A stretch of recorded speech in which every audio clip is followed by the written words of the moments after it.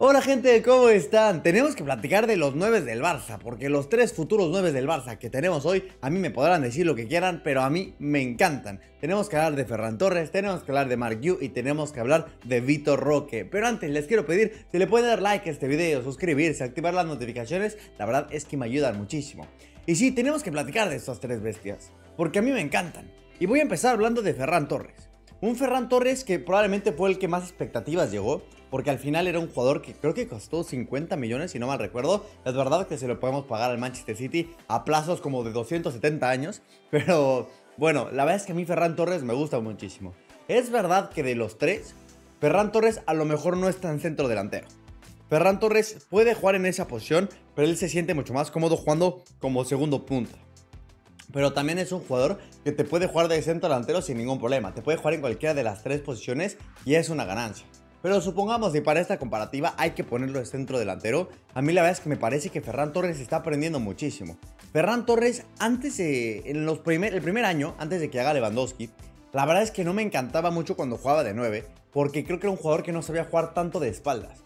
Y al final un 9 también es muy importante que la sepa aguantar y que pueda salir, que el equipo, si nos están haciendo presión alta, poder salir con el delantero y que él aguante y a partir de ahí seguir jugando.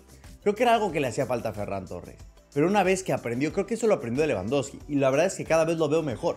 Y es verdad que a mí el Ferran Torres lo veo cuando está Robert Lewandowski, pero también Ferran de 9 me encanta y es un jugadorazo. Y ahora vamos a platicar de Mark Yu. Un Mark Yu que seguramente no ha tenido tantas oportunidades como le gustaría. Un Mark Yu que seguramente es el delantero más delantero, por decirlo de alguna manera, bueno, junto con Vitor Roque, pero es un delantero de la Masía. Y eso a mí la verdad es que me sorprende muchísimo, porque por lo general la Masía no saca tantos delanteros.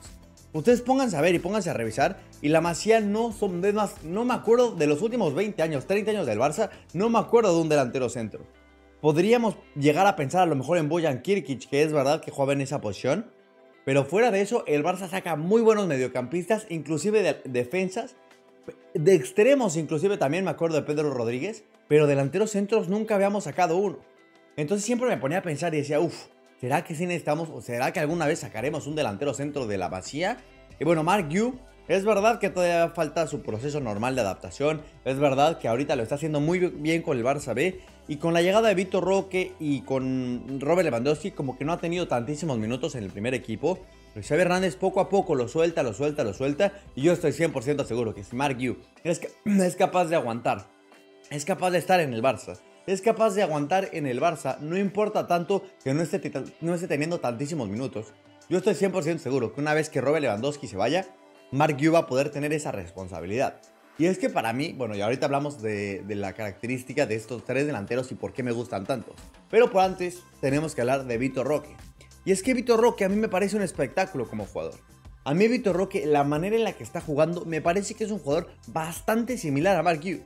O sea, yo los veo y creo que son jugadores que son muy parecidos, jugadores que te juegan muy bien al espacio, jugadores que a lo mejor tienen que aprender mucho mejor a cómo asociarse, pero son jugadores que te pican y te van a marcar muy bien esos, esos desmarques. Que lo que mejor le caracteriza a los dos es buscar la pelota atrás del área, o más bien buscar la defensa, hacer esos desmarques.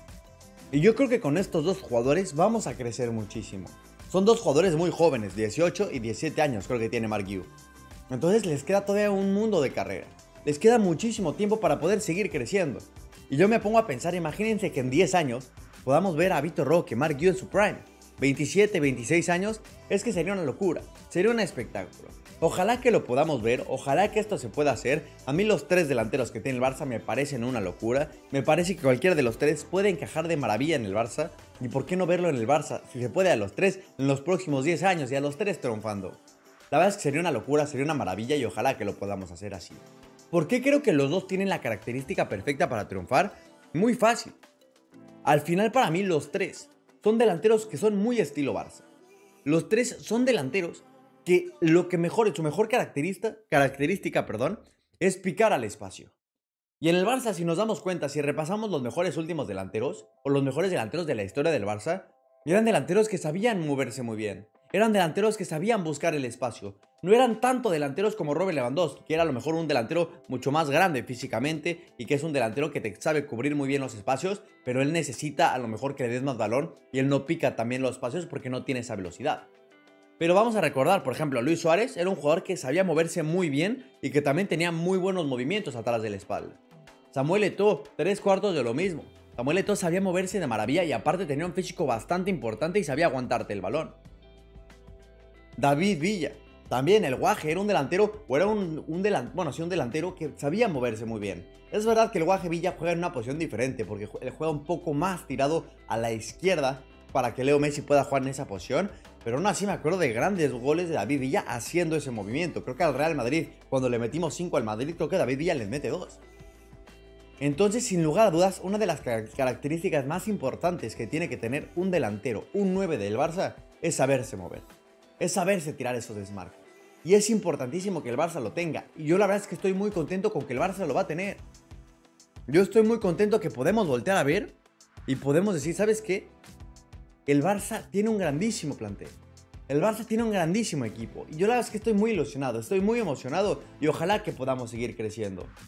Y ojalá que podamos en un futuro, dos, tres años a lo mejor, en lo que Robert Lewandowski sigue creciendo, en lo que Robert Lewandowski, porque yo sé que hay mucha gente que ya lo quiere correr, pero Robert Lewandowski se va a quedar en el Barça la próxima temporada. Por lo menos esta y otra estoy 100% seguro que va a estar en el Barça. Entonces, bueno, estos tres delanteros, Ferran, Vitor Roque y Mark Yu, especialmente los últimos dos, Mark Yu y Vitor Roque, van a poder aprender muchísimo de Robert Lewandowski. Y ojalá que les ayude. Porque para mí Mark Yu y Vitor Roque a lo mejor lo que tienen más innato, lo que tienen más de centro delantero es saber picar a la espalda. Eso no lo van a aprender de Robert Lewandowski.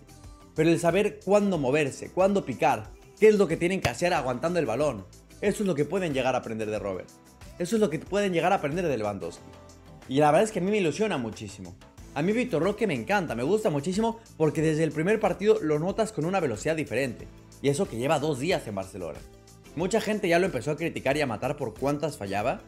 Y lo mismo pasó con Ferran Torres, cómo lo mataban y criticaban que hay como las falla, como las falla. Pero en el Barça lo importante no es tanto fallarlas, sí, es verdad, hay que meterlas, hay que meterlas. Pero ya el hecho de tenerlas, ya te habla de que eres un jugador diferente. Ya el hecho de tenerlas significa que estás haciendo muy bien los movimientos, que te hace falta a lo mejor esa pequeña suerte, que te hace falta a lo mejor ese pequeño talento o esa pequeña diferencia que es literalmente entre empujar o quedarte el balón. Pero yo la verdad es que estoy muy ilusionado. Yo estoy 100% seguro que estas tres bestias van a acabar triunfando en el Barça, la van a acabar haciendo muy bien. Y ojalá, ojalá que podamos hablar de en 10, 8 años, que podamos decir, que estas bestias lo que tenemos son, espectaculares. A lo mejor por Ferran Torres tuvimos que pagar una cantidad importante de dinero. A lo mejor por Vitor Roque también se pagó una cantidad importante de dinero. Mark Yu va a salir gratis porque es de la masilla.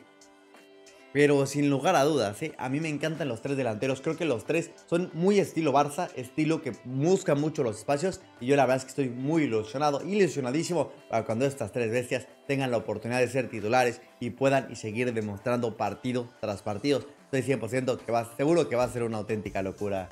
Pero bueno gente, gracias por ver este video. Si les gustó, vayan a ver este otro donde habla acerca del Camp Nou. Cuando es la fecha para estar listo, vayan a ver el video.